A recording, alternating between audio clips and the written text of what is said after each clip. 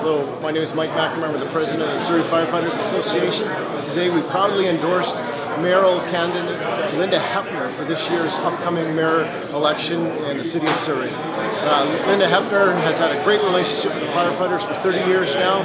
She supports firefighter safety and public safety and we're proud to stand beside her for this year's election.